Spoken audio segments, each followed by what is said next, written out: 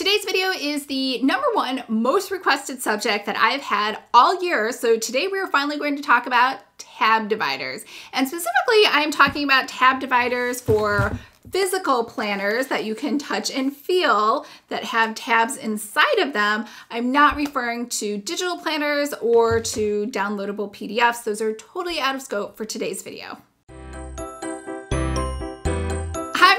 Lisa from Pretty Fabulous, and I help online businesses create beautiful digital downloads using Adobe InDesign. So if this sounds like you or something you might be interested in, make sure to hit the subscribe button below. I post new videos every Monday and Thursday, and I do unboxings on Saturday. Now today is part one of a three-part series that is only available inside of Planner Academy. So today, just to be clear, is just a freebie excerpt lesson from Planner Academy, just so you can see what we talk about inside of there. And also, I did want to give all of you an overview about tab dividers in case that's something you are interested in. Now, if you are in Planner Academy, the next set of videos will be design videos. So I'll actually walk you through how to create your own tab dividers inside of Adobe InDesign and I will also be doing a third video on how to work with your printer or how to maybe make these at home on your own.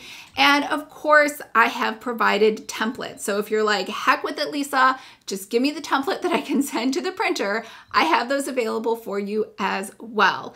Now, if you are not in Planner Academy and you are interested, the time that this video goes live, Planner Academy is open for enrollment through this Sunday. Planner Academy is open through Sunday, April 21st, and then after that, it's going to close for possibly a the year. I really want to launch, I usually open it up in the fall. However, this fall, I really want to launch incredible workbooks and profitable PDFs.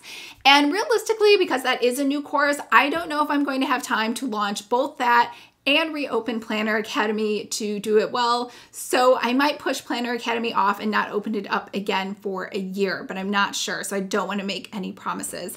Um, but today, let's go ahead. Today's just meant to be an overview on tab dividers. So we're all talking the same language when we start going into the design lesson and when we start talking about how to work with printers. And especially with the templates, you're going to have to know what I'm talking about because the templates do have different directions and there are different templates for different styles of tab dividers. So we're going to go over seven big areas today. The, first one is which planners can and can't have them. So first of all, any planner can have them, like across the board, it doesn't even matter. But if you have a spiral bound planner, 99.9% of people are going to expect tab dividers. They're going to be very disappointed if you have a spiral bound planner without them. It's just kind of uh, something that is part of the package, right? Versus if you have a bound planner that's more like a book, people aren't expecting that and it might be a little odd. Plus, they are probably getting this because they like the sleek edge. They like the fact that it looks like a book. And to make it a little more high end, you might just gild the pages with gold or silver or rose gold or something else to make it a little more premium looking.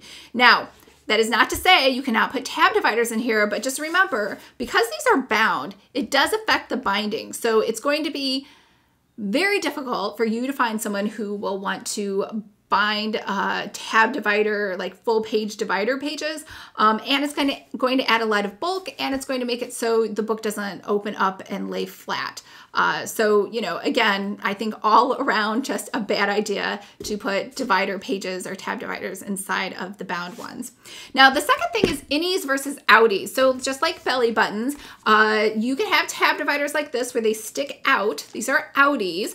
Or you can have something like power sheets where they are innies. And that just means when I have the cover shut closed, that no tab dividers stick out. They all kind of stay Inside, I think this is a little bit more high-end looking, plus it helps the tab dividers live a little longer, especially people that throw them in their purse. Uh, it's not a foolproof, you know, safety thing, but it definitely helps with longevity, if, especially if you have an annual planner and it, once you get into the middle or the end of the year, they start getting frayed and people are kind of like, oh, I guess I bought a cheap planner. They can't put the correlation together that they did it to themselves by throwing it in their purse and just having it laying around. So something else to think about. Um, now, where to put tab dividers. So I see a lot of newbies making this mistake. Your tab divider, if you have a two page monthly spread, I don't even know if you can see it, it's so bright, 100%, the tab divider goes on the left side. Never goes on the right. Don't even argue with me. That's just how it is. When people open a uh, planner and they grab the tab, they immediately flip it to the left. Nobody in the history of time has ever grabbed a tab divider and said, let me push the pages off and I'll hold onto the tab divider and then lay it back flat. That just doesn't happen. So remember, if you have a two page monthly spread, the tab divider is always on the left. Just in general, whatever you you're doing, the tab dividers, these Mylar dividers are always on the left side period. Um, you can put a quote over here, but you still always put the tab divider on the left. Uh, the other thing on where to put them in terms of text direction is if the spiral is down here at the bottom and you're holding the planner, 100% you should be able to read the letters this way. They shouldn't be upside down. They should be, the letters should be uh, this way. So I can read July, August, September, October, and more importantly, uh, they should also look exactly the same on the back side because remember when you open up that two page spread, I can look at the back of the tab divider and I should be able to see the same text there that is on the other side. I have only seen, where is it? So newbies are the only ones who usually make this mistake is this is the My Brilliant Writing Planner and I think this woman just made these at home. Um, she has nothing on the back. It's just plain. Um, so that is, again, just sort of a newbie mistake, something to be aware of. You should put text on the front and the back. They're meant to be double-sided. Uh, the other thing is size and font considerations. So smaller is better. And the problem is with these tab dividers because you're trying to fit so much in there. Like this tab divider from Dayspring says June 2019 because it's a mid-year planner. So they were trying to distinguish between 2017 versus 2018 or 2019 or whatever this is. So that alone takes up so much text and people want to fill up the whole space from the left side to the right side. That's a huge no-no. So instead, uh, you know, cultivate what matters the power sheets if you have those and check check those out. They do an excellent job of having very small text and font. In fact, it's so small sometimes it's difficult to read, um, but it looks very high end and it looks nice. And the second thing is you always want to use a sans serif font. So again, a newbie mistake is to use a serif font or like this, again, this I'll use this planner. Um, they're using a slab font. Uh, it just looks huge and cartoonish and it just looks, it just overall makes it look a little lower quality. Now, the other thing too with the size of your fonts and the placement, so I'm going back a little bit to number three, is where to put them, is sometimes they overlap. So a really good example of someone who did a great job with this is Bloom Planners. Sorry, I have so many planners over here. Um, Bloom Planners did a great job where their tab dividers are, first of all, they have very small text. It's sans serif. And so they have a big, huge thing of text or of a tab, but only maybe one half of it is being used up with the actual text so that when these lay flat, these all kind of overlap with each other. Always a much nicer look. The cheaper look, I shouldn't say the cheaper, but to me, I, I really dislike this look personally, is this big one like the My Brilliant Planner has where they're huge uh, they, they have gaps in between them and they don't overlap. So I really, really uh, strongly dislike that. And it looks a little cheaper. Uh, same thing over here. The other thing you can do is what Power Sheets did is these are all kind of flush. So they're almost right next to each other. So while they don't overlap, um, there is a slight tiny, tiny uh, bit of overlap, but it's minuscule so that they kind of look like they're all separate. So that I think is, again, a better way to do tab dividers. The other thing is the material. So that's a different one. So the material, let me take this one. Uh, you can have two types of tab dividers. So the Bloom planners have Mylar tabs, which means that they have printed their planner, all the pages are exactly the same size, and then what they've done is they basically just said, you know what, let's go back and just stick little stickers on there that is a Mylar tab. It's basically just a sticker. And if you look really closely, it has um, just a clear sticker overlay on top of it. So it's not even it's not part of the page. So these tab dividers are thicker than the actual page they're attached to to give them a little more sturdiness and make them a little more hardy. But they are just simply taped onto there versus a full page divider, which is what PowerSheets uses.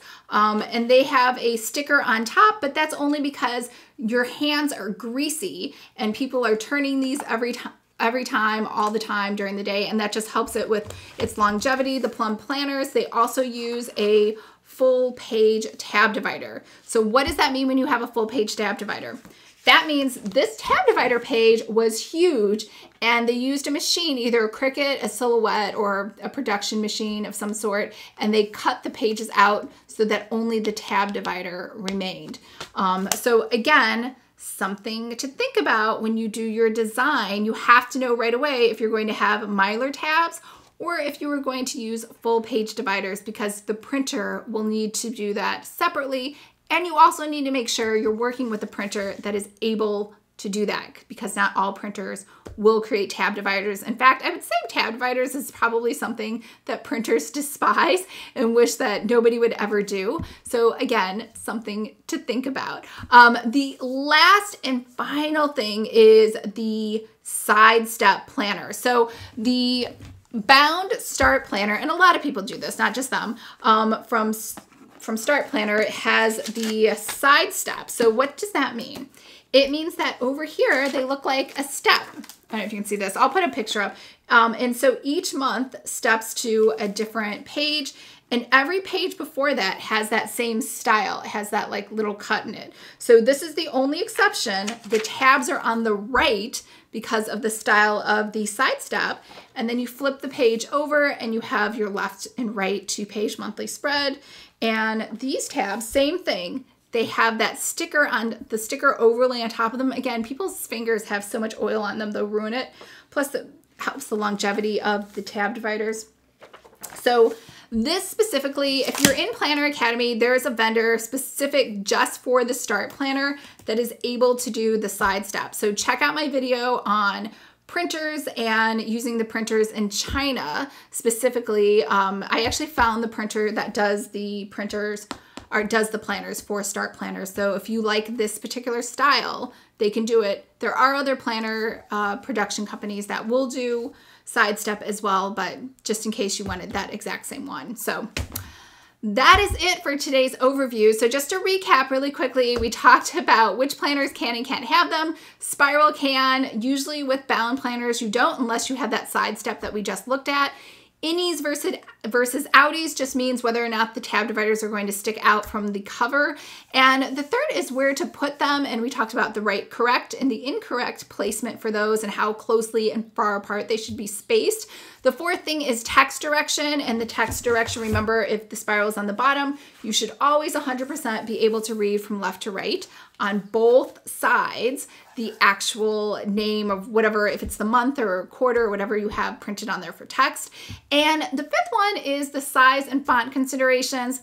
Smaller is always better. Leave a lot of white space. Taking up the entire space from left to right is kind of an amateur move. It looks tacky. And more importantly, Always use sans serif font. Don't use slab. Don't use serif. Don't try to use script.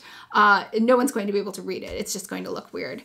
Um, and then number six for material, basically you have a choice between either using all of the pages, just having these all printed as is, and then having Mylar tabs added after the fact, or you can go ahead and have a full page tab divider, but remember you will need some sort of machine, a Cricut, a Silhouette, or a print production facility that can cut those out for you. And the last one is the side step printing, um, or the side step tabs, which are typically only in a bound planner. You don't have to have them, uh, but you know, obviously if you're going to use these, the font, the margins on the left and the right outside edges of your pages has to be pretty generous um, the whole way down because you don't know whether or not the beginning ones have a full page usually, but as you go down in the months, you're going to, run out of space because you're cutting those off. So create these inside of Adobe InDesign and to get the templates. Those are all available for you inside of Planner Academy. And if you're in the course, they will be inside of there by this time next Thursday. All right. I hope to see all of you in Planner Academy. And if not, I still hope this was helpful and you're all having a fabulous day. And I will see you on Saturday for an unboxing. All right. Bye.